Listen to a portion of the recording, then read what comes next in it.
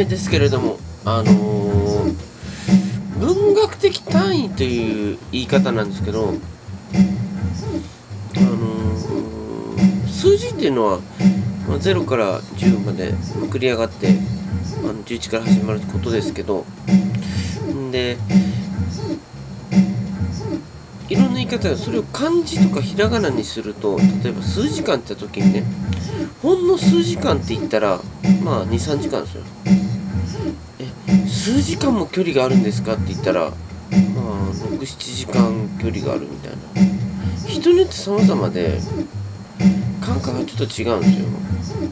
ほんの数時間と数時間今日の規模数時間超の規模って言ったらまあ78時間とか。そんな意味じゃないですかね。一般にそのなんていうかな。人間様が使ってるのは23時間の方がいいと思うんですけど。45時間45時間って言ったら中ほどかな。うん。で約っていうのは約って言い方はちょっと違いますかね。これ。約束の約かなこれ。均一の金かな。ちょんちょんですかね。うまいんです。ちょっと王室のもんで。んで約っていうのは端数切り捨てなんですよ。端数切り捨てって言い方する。端数っていうのは1543だったらもう1540でいいんじゃないかみたいな。いけませんけど端数切り捨て。どこは端数かわからんす。よ例えば5万4728やったら728も端数切り捨てせえみたいな。じゃあ5万5000ですけどそれでいいって。それを四捨五入って言います。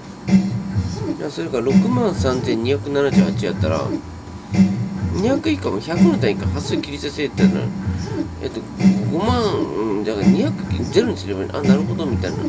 000みたいなね。んで上未満っていう言い方ですけど以上っていうのは持って上。それを持って上なるっていうんですよ。なのでそれを持ってっていうことはその数字を含めて以上。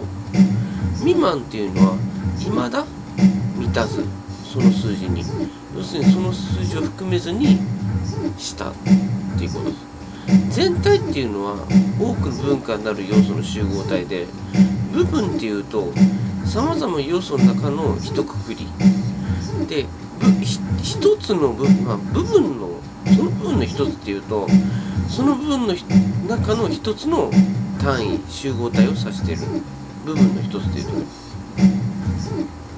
まあ、それを例えるとこう全体としてあの全体どれも重均一に重要って言ったら全体の各一文が等価値を持つ。